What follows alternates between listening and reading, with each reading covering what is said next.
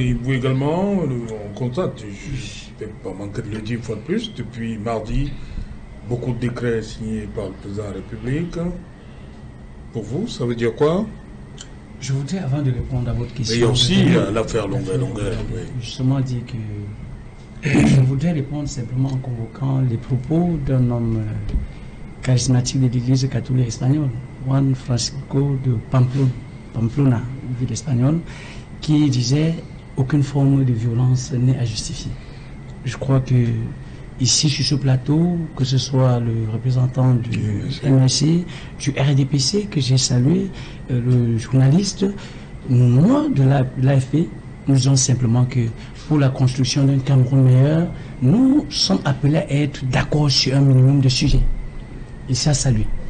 Lorsque je l'ai dit, euh, monsieur euh, Serge Auto, il est extrêmement important, plus que jamais, que les paroles chargées d'histoire, chargées de patriotisme, de l'hymne national, puissent avoir plus d'écho de nos jours.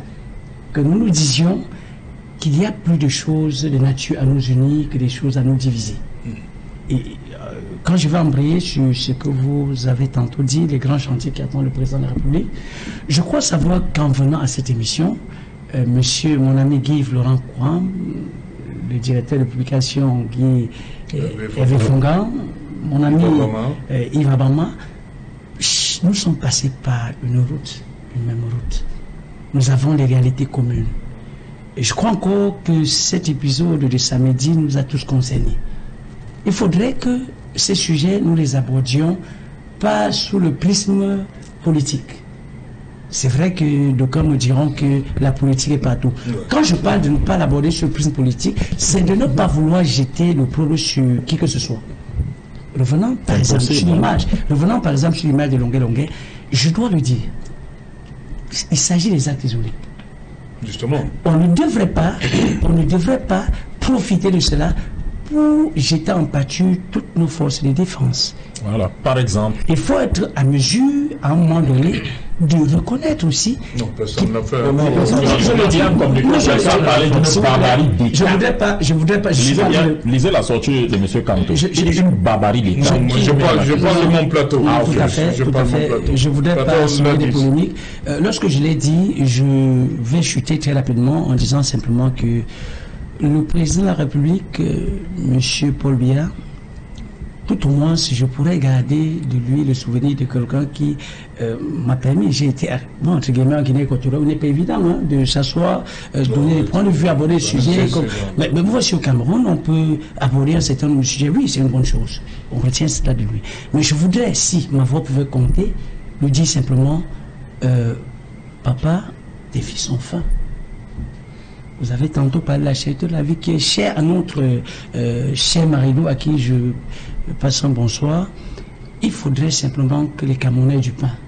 Il faudrait que les Camerounais aient du poisson. Il faudrait que les Camerounais aient du paracétamol. Il faudrait que les Camerounais se déplacent en toute quiétude. Il faudrait que les Camerounais accèdent à l'éducation avec euh, les mêmes chances, que les rêves des Camerounais puissent se réaliser.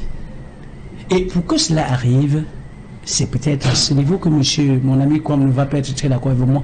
Pour que cela arrive, il faudrait, il faudrait simplement que nous comprenions que l'heure de la réconciliation nationale est arrivée. Il y a un temps pour les palabres, il y a un temps pour les querelles, mais il y a aussi un temps pour la paix. Pratiquement depuis 2018, vous pouvez imaginer le degré de déferlement de violence qu'il y a au Cameroun.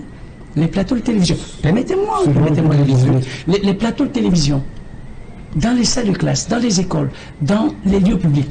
C'est simplement pour dire que pourquoi pas se dire que une dynamique de, de, réconciliation doit être mise sur pied de nature à favoriser ce que j'appelle la pacification des rapports. Je pense à ces frères du Nozo qui souffrent depuis des années. Pourquoi pas se dire Il faut passer à autre chose. Il faut passer un Cameroun qui réconcilie ses fils. Il faut passer un Cameroun qui procure la fierté à ses enfants. L'image fabuleuse de notre champion Ganou. Pourquoi ne pas se dire que nous, dans le champ politique, au-delà de l'adversité, on pourrait, en moins de se dire, ben, si l'autoroute doit la Yaoundé est achevée, ça fera la fierté de tous les Camerounais. Ça fera la fierté de tous les Camerounais. Ça, c'est notre vision à nous, à l'AFP. Et nous sommes tellement attachés à cette vision que nous nous disons toujours que les débats sont des occasions pour nous, pas de nous confronter à l'idée de dire que tel a tort ou tel a raison, mais de pouvoir faire jaillir euh, la vérité fait jaillir. le président, il est le Pourquoi pas Pourquoi pas Parce que je dis. réconcilier. je ne suis pas porte-parole du RDPC, le représentant du RDPC. la président de la République. le président. Je ne parle du président. Je parle du président de la République. Je pense quand même. du président national. Exactement. Je pense quand même que les actes posés par le président de la République depuis son retour sont de nature à nous reconforter dans la vision selon laquelle il est le père de la nation. Il avait perdu cette qualité? Je dis qu'il est le père de la nation, pas pour dire qu'il avait perdu ses qualités. Mais je dis simplement qu'il ne tient pas rigueur à tout ce qui se passe, ou à tout ce qui s'est passé, en se disant simplement, il y a des choses qui nous attendent. Je veux dire... Oui, il le